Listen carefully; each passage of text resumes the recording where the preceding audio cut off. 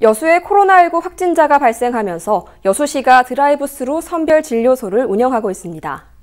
여수시 드라이브스루 선별 진료소는 시청 보건소 공영 주차장에 설치됐으며 검사 대상자가 자동차 안에서 창문을 통해 접수부터 문진, 발열, 채취까지 10분 안에 할 수 있습니다.